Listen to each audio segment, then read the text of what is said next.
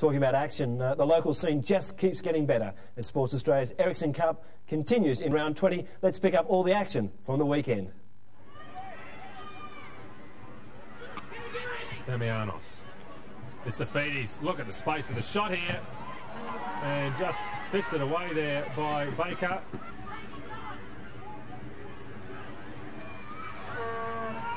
Here's Iosifidis again, causing problems. It breaks for Damianos, and Baker holds the ball on this occasion.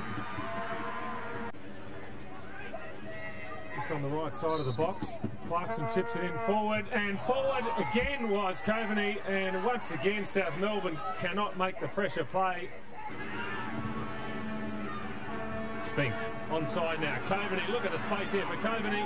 He's in against the keeper, and he scores. So South Melbourne finally take the lead. They've been trying very, very hard, and Coveney is the man in the end who converts. Laying it to Coveney. Coveney really sprinting away, getting the angle, and just hammered that ball at the near post. In these conditions, as we saw, the ball skid, skidded off the surface. With, even with a touch by the keeper, it's rocketed into the back of the net.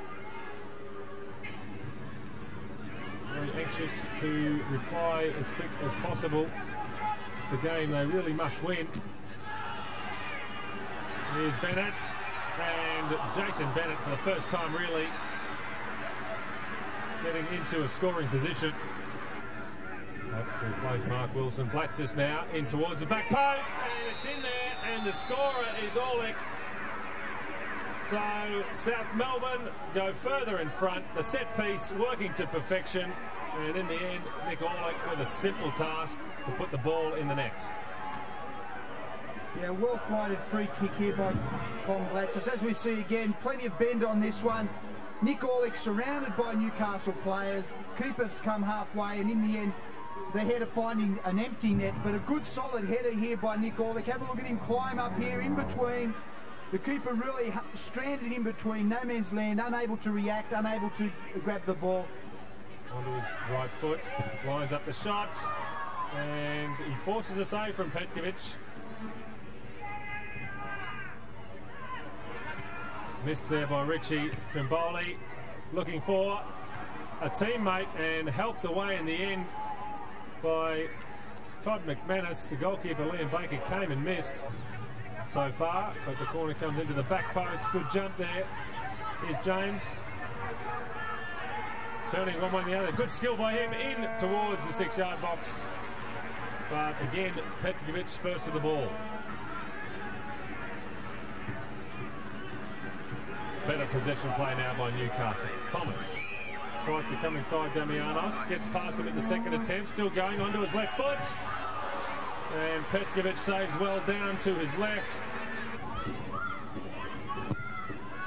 Crosses it towards Spink. The knockdown may fall for Kalic. It does. He's past the keeper.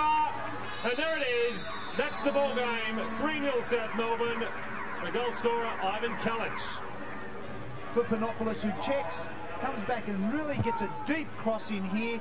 We see Spink at that far post just a touchdown. Kalic always aware, takes the ball wide. This is a good finish from an angle with, with very little to go at and two players cutting across. And up he gets Bowley. Onside is Spink. It's Spink against the keeper and it's 4-0 now for South Melbourne. And Warren Spink, the substitute, gets a reward for a very positive contribution in this second half.